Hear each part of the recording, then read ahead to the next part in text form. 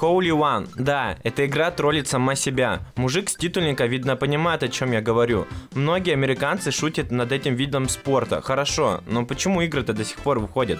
Типа, чтобы типичный представитель средней руки смог дома ощутить себя магнатом, который играет в элитную игру. И тут я подумал, а вдруг это какая-то успешная серия игр? В гугле я нашел только дешевую комедию, которую, видно, только авторы и смотрели, и порно, да. Помните такой футбол или хоккей, где были суперудары, монстры и прочая анархия. Было бы забавно увидеть гольф в такой манере, ибо это пока есть обычный гольф.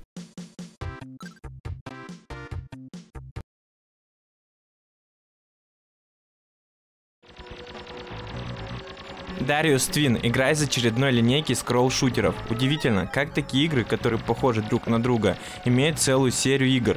То есть, начиная с 80-х, они доживали до конца нулевых, это почти 30 лет. Скажу пару слов о самой первой части, которая выходила на аркадном автомате. На тот момент особенность ее была в том, что помимо того, что это был опять космический корабль, который воюет в космосе, убивает монстров или механических врагов, то у нее игровой экран был разделен на три части. Это очень круто.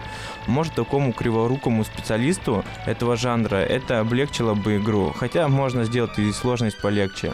Представьте чувака, который сидит чисто на этом жанре. У него рефлексы, наверное, как у кошки, а взгляд как у голубя. Жанр нажми и держи.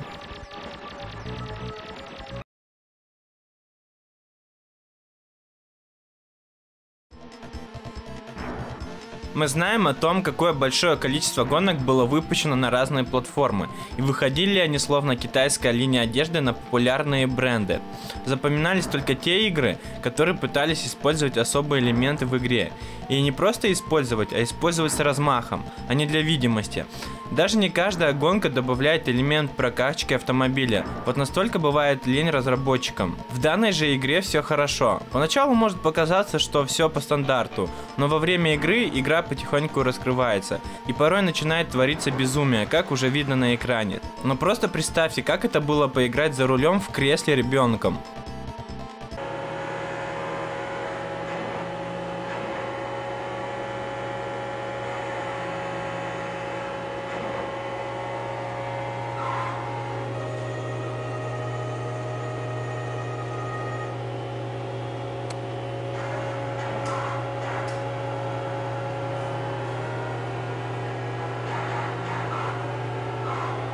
Пыль, ночь, камни. Именно такие элементы должны быть в ралли. Я играл в ралли на первой плойке, и там такой эффект был и то менее достигнут.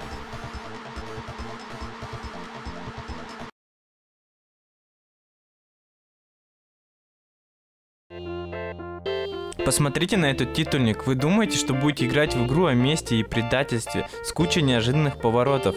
Этот шрифт, если заменить музыку, то выходит какой-то хоррор. Давайте добавим пару эффектов.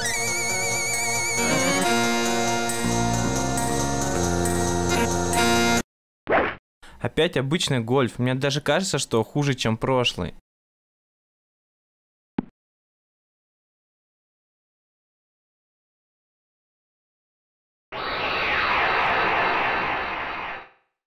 Ультрамен – популярный герой в Японии. Создан он был в 1966 году режиссером спецэффектов Эдди Цибурая, который приложил руку к многим классическим фантастическим фильмам тех лет. Поэтому неудивительно было увидеть данного героя в битве с таким же классическим, но более популярным героем, как Годзилла. Выходила куча разной продукции о этом персонаже. Различная манга, книги, сериалы. Вроде как в 2017 должен выйти фильм. За рубежом, я думаю, персонаж мог быть известен только тем, что данное имя используется в комиксах DC. Ультрамен так зовут э, злобную версию Супермена, и народ тем самым натыкался на японского супергероя. Что же касаемо самой игры, так ничего, это кривой и вовсе не интересный файтинг, поэтому предыстория героя куда интереснее самой игры.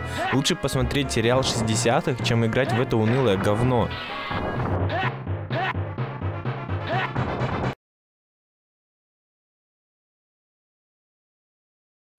Если вам не понравилось быть владыкой в средневековье, то вы можете себя попробовать в более современном мире в качестве мэра. Что вам нужно делать в этой игре? Это строить собственный город и улучшать инфраструктуру, а также предотвращать а также, предотвращ...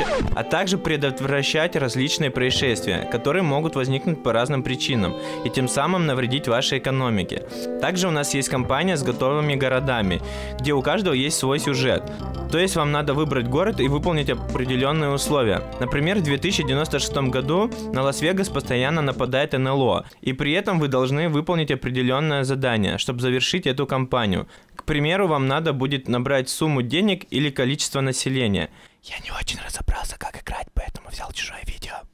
Да, говоря про НЛО, в каждой части SimCity есть свой монстр, который будет разрушать местность и мешать вашим планам. В версии на SNES это дракон из Марио Боузер. Я снова взял чужое видео. Игра занимала 35 место из 100 лучших игр на SNES по версии GN. Это потому, что у SNES не было если у вас много терпения, то вы можете получать удовольствие от этой игры.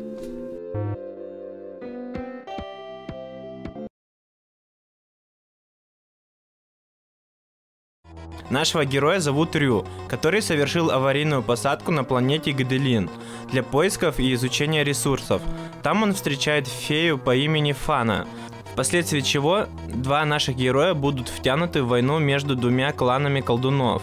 Игра сделана по аниме-сериалу, который выходил в 89 году в формате OVA. OVA это аниме, которое выходило на DVD только для домашнего просмотра.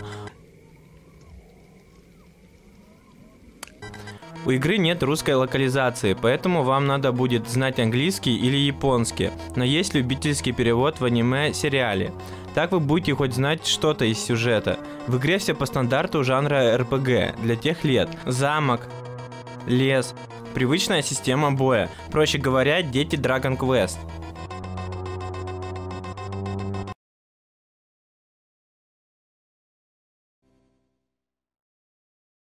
Трехмерная игра с открытым миром, разработана для персональных компьютеров Amiga и Atari ST или ST, я не знаю как правильно читается, и портированная уже на SNES. Какая версия лучше? Я решил найти сравнение и зашел на один старый форум, где люди спорили и проводили технические характеристики. То есть если Amiga быстрее обрабатывает данные, то у SNES лучше музыка, к примеру. Но среди этих споров мне понравился один комментарий. Сравнивать процессы SNES с Amiga это как сравнивать яблоки или апельсины. я полностью с этим согласен. Чтобы рассказать больше об этой игре, нужно провести кучу часов за ней. Поэтому извините, я посмотрел видео прохождения с ускорением и скажу, может любителям фэнтези о драконах и магах будет интересно в это играть, но в остальном я не заметил ничего примечательного, что заинтересует большую часть игроков.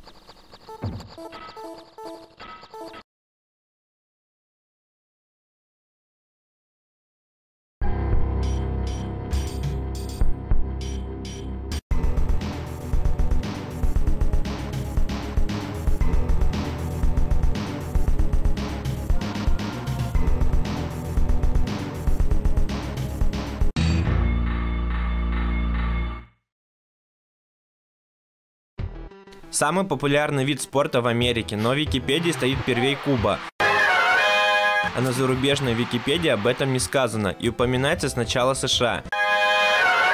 Если не ошибаюсь, американский футбол по статистике популярнее бейсбола. Может быть, но в фильмах мы чаще всего видим все же бейсбол, где победа заканчивается полетом мяча в публику или за ее горизонт.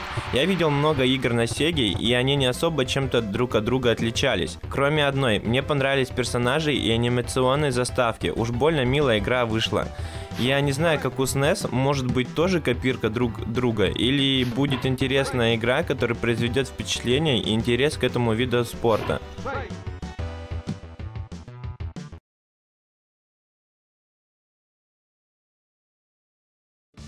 Еще одна долгоживущая японская серия. Если китайцы штампуют одежду, то японцы игры. Помимо этого, игра выходила на множество платформ и имеет кучу портов. Игра, в принципе, неплохая. Только физика немного каменная. Это такой гибрид Саймона Квеста и Зельды 2, только попроще. На Денди первые две части имеют русский перевод, поэтому, чтобы что-то рассказать о мире этой игры, нужно в них поиграть. Даже англоязычная публика не сразу получила перевод этой игры, а диалогов тут много.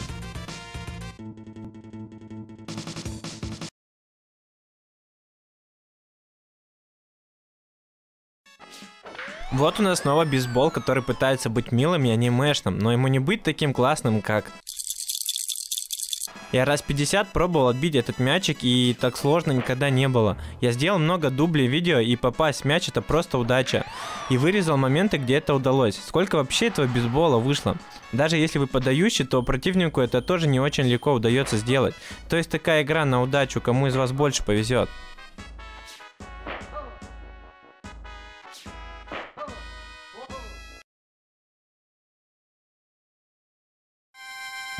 Вторая игра из серии кроссоверов японских супергероев. Теперь это у нас доджбол, или проще говоря, вышибалы. Вы, наверное, помните футбол с суперударами на Сегу. Да, именно так его и все называли, и понимали о чем речь. Он вроде бы назывался Гол 3, так что любители того футбола должны оценить и эту игру. У нас есть тут и режим истории, который затянет вас на часа 3-4. Я сам часа 2 поиграл, уж очень понравилось. Жаль, что на SNES еще много игр без перевода. Если на Денди или Sega с начала нулевых различные умельцы почти все перевели, то SNES еще свежа в этом вопросе, если была бы хотя бы английская версия, потому что трудно ориентироваться так в игре, а о сюжете вообще молчу. В процессе игры вы участвуете в различных соревнованиях, где набираете команду. В случае проигрыша вы теряете участников. У нас тут есть поле с выбором прохождения, где красуется магазин. Там вы можете улучшать характеристики, покупая за выигранную валюту различные плюшечки. Также нам надо пополнять сохранять здоровье главному герою после игры, ибо вы будете начинать с минимальным запасом. Странно, что в меню режим истории в самом низу, поэтому я сначала и выбрал обычный турнир с выбором уровней, как в Мегамене. Если в начале старт и опции на английском, то почему бы их не сделать и в других разделах? В других режимах вы можете начинать уже с полной командой и помимо также улучшать им стату, что не очень сильно упростит процесс игры. Это более нужная вещь в истории, которая, как мне показалось, куда сложнее. Я надеюсь, в дальнейшем будут еще игры и желательно такие же хорошие.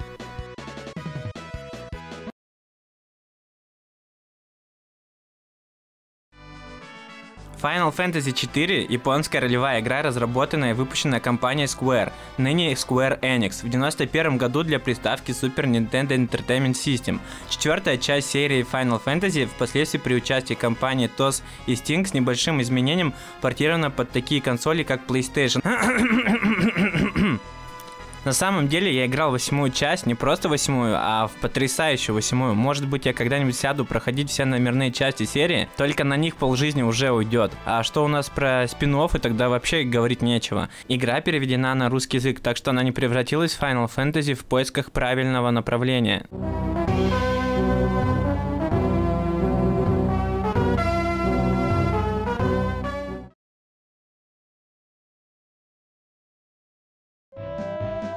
До этого был бейсбол на удачу, а здесь явно поставили задачу отбить все мячи. Может после прошлого прокачал скиллуху, но здесь и правда мячи отбить легко. Кстати, SNES очень любит в играх эффект приближения. Когда ты играешь в разные игры за один раз, то я просто ощущаю себя Алисой.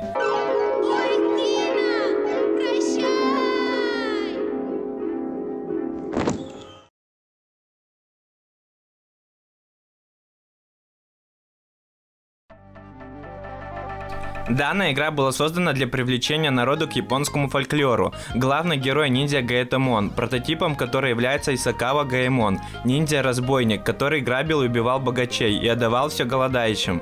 Проще говоря, японский Робин Гуд. Также нам будет помогать его лучший друг Эби Сумару, который, как по мне, очень похож на Марио, с растущими фиолетовыми волосами из носа на голову или из головы. Да, это летают призраки, эти призраки, а не то, что можно подумать изначально. Все персонажи персонажи, которых мы встретим в игре, являются отсылками к различным рассказам японской культуры. Сюжет игры довольно прост. Нам нужно будет спасти принцессу, а для ее спасения мы будем путешествовать по различным местам Японии, где должны узнавать информацию о местонахождении. Путешествуя по городам, мы можем выполнять различные задания, где в награду будем получать монеты, которые можно потратить в различных магазинах. Так что первую часть уровня мы будем ходить по городу для пополнения запасов и прокачки героя. Другую часть уровня мы идем сражаясь с врагами и добираемся до босса. Это будет намного веселее, если играть вдвоем. Серия насчитывает около 20 игр, немного спин плюс игры, где встречается данный персонаж в качестве гостя.